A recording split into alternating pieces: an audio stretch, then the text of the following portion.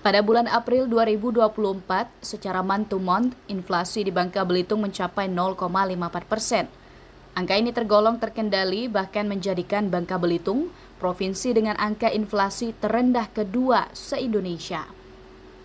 Toto Haryanto Silitonga, Kepala Badan Pusat Statistik Bangka Belitung, mengungkapkan, capaian tersebut tak lepas dari kesinambungan yang telah dijalankan tim pengendali inflasi daerah dari bulan Januari sampai Maret 2024. Kolaborasi antar stakeholder terkait dan komitmen pengusaha juga berperan untuk menjaga kestabilan inflasi.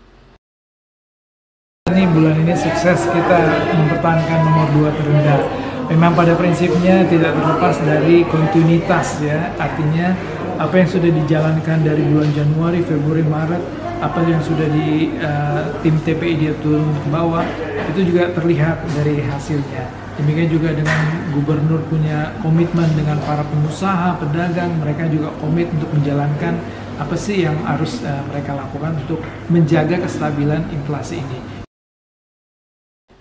Toto menerangkan bahwa inflasi pada hakikatnya bukan untuk diturunkan, namun untuk dikendalikan. Lantaran inflasi juga dibutuhkan untuk pertumbuhan ekonomi.